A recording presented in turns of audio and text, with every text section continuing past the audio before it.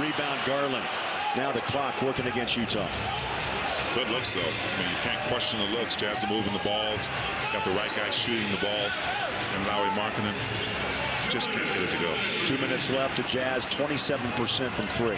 They've hit 9 of 34. Garland off his foot. And it's going to be turnover. Jazz ball with a minute 52 to play. And the Jazz, that's a clutch turnover there. Jazz have hit just three shots in this quarter. Three of 22. That equals 14%. Clarkson went into the paint. Now he backs out. Time a factor. Takes the three. No. Ball is out of bounds. They'll say it's off the Cavs, so the Jazz will have it back. 14 on the clock. Seconds left to get what they want. Kessler, the Mike, looks inside, holds the ball, now fires it over to Clarkson. Shot clock at seven. Three balls away. Leans in. One. JC takes a tumble after the make.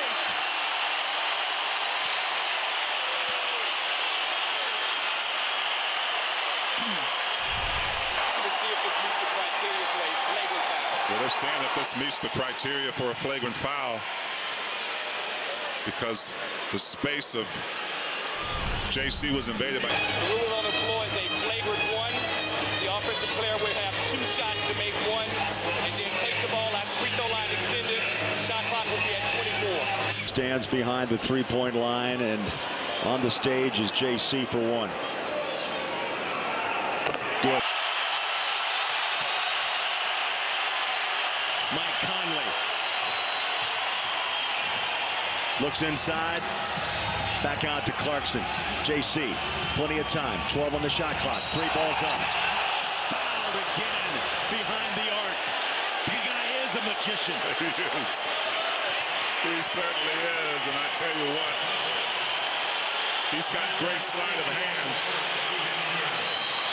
More important, I like the look in Jordan Clarkson's eye right now. He wants this. Well, J.B. Bicker coming off the screen. JC feels the bump. If any contact was a better angle right here. Let's ran see. up his back Oh, right there. Oh, yeah. Oh, yeah. Ran up his back. Kessler. Shoot three shots. Clarkson. High socks at the knees. Span. That's just amazing. And JC has dropped 30 on the Cavs. Now the work, now the work begins, Bowler. over the top. Three. No. Rebound. Markkanen. 15 boards. And the Jazz under a minute to go with the ball. And up by two. You like drama? You got it. Yes, you do. I'm strapped in over here. Oh, it's buckle up night. And SLC, Clarkson floater. Got it! Got it! The Magic Man does it again. 32! Donovan.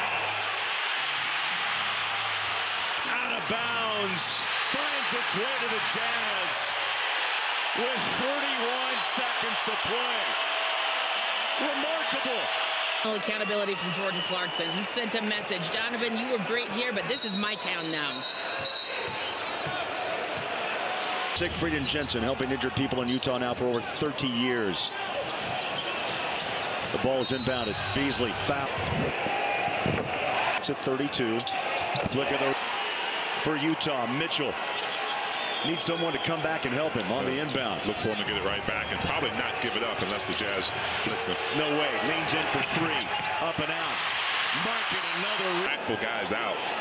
Finds a way. Jazz players that they can perform and compete with the very best. In the East, the Jazz trying to work their way back into playoff discussion. A 13-0 run over one minute and three seconds. That breaks the run on that layup by Garland. They pressure the backcourt on the inbounder. We just need to throw it up to Lowry. Tucker will inbound. They find Clarkson finally. They triple team him. The ball comes loose. Donovan to the rack and drops it home. Finally, another inbound. Second one, good. Inbound. You know it's going to try to find Mitchell. Finally does. Out front, a quick hitter over JC. Three's up out. There it is. Rebound. Ball's loose. Mitchell again. Hit the three with a tenth of a second. Inbounded. It's over. Beasley and the Jazz fight off the Cavaliers despite 46 from Donovan.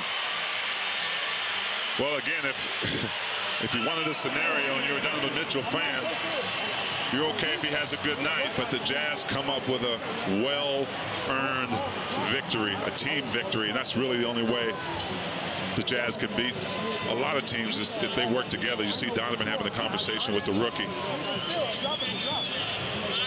giving them some pointers on how to have a successful career. Clarkson, short of magnificent, in fact, more than. Yeah, I'd say. Down that stretch run, my fourth. Clutch free throws. Nickeil, Donovan sharing a moment. You know, it's like a fraternity. And T, you know this as well as anyone, the locker room. It's kind of where it all begins. Maybe Tom Brady, that's why he can't walk away. Yeah, it's, it's tough to cut the cord, you know, when when not only do you get games like this, but you get what happens after the game, right? These kind of things right here are just so important in the game.